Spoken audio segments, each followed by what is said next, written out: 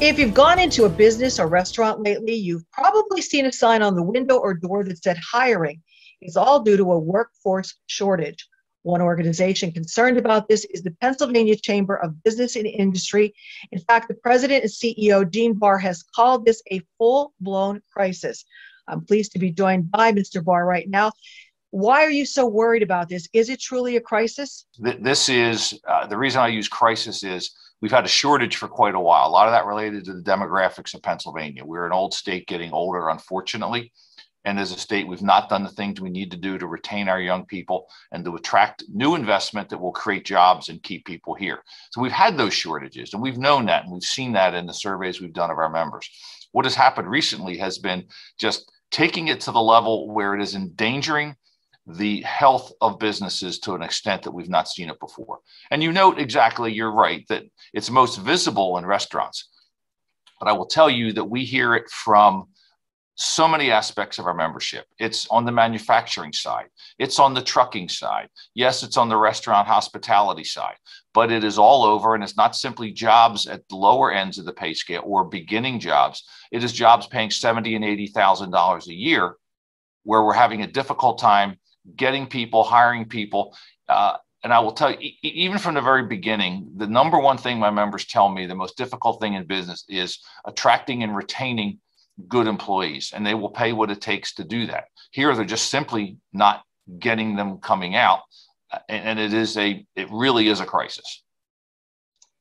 So now there was a survey done by the U.S. Chamber, and that had some startling facts that I read uh, in a press release that you had put out. So tell our viewers about this because um, almost half of the population that are out of work doesn't seem like they want to return anytime soon. You hit the nail on the head. And this kind of, I hate to say it, confirms quite a bit about what we had feared.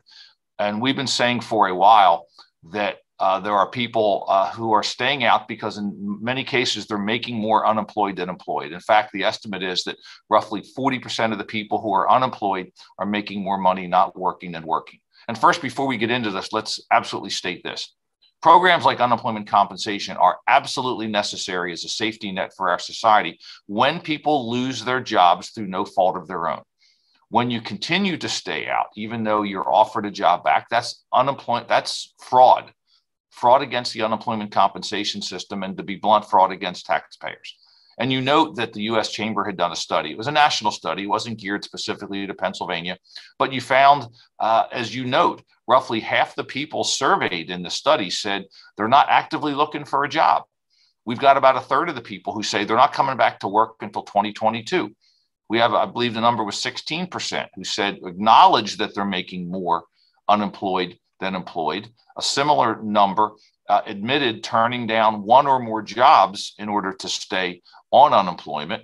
And so these numbers are showing that this extra, and it's all due to this, in our view, uh, most of it due to this extra $300 a week that is part of some of the federal assistance. Now, is there some childcare concerns part of that? I, I would say uh, there are some people who are still afraid of you know, COVID with the vaccination rates going up, I think that's significantly dropping. We do need to address the child care side of it, though. But even Pennsylvania's independent fiscal office has said that, in their view, in terms of studying the issue, the majority of the concern and the problems we're seeing with the workforce shortage are attributable to the extra $300 a week that will continue into early September.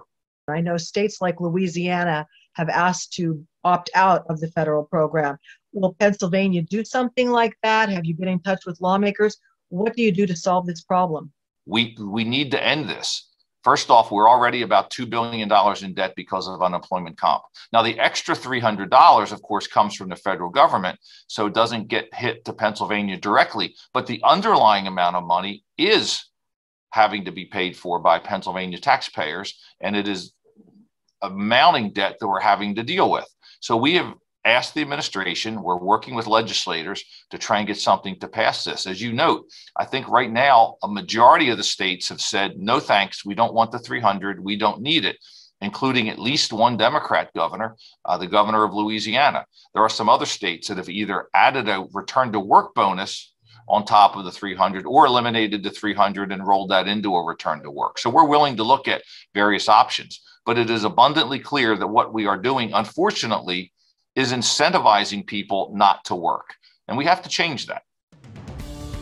Today's news feature is brought to you by Feisner's Ford in Freeland, who is celebrating 75 years in business. Give them a call at 570 636 3920, or you can log on to FeisnersFord.com.